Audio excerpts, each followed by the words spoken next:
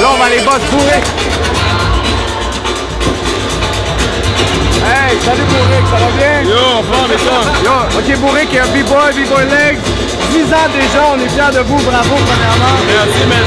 Ok, là les, je pense que les gens ils réalisent pas des fois à quel point c'est d'investissement de temps pour être un B-boy. Donc, à quel point tu as pu travailler, combien d'heures semaine, est-ce que tu peux calculer ça un peu pour nous?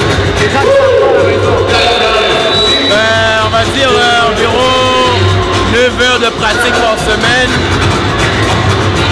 9 heures à 10 heures de pratique par semaine.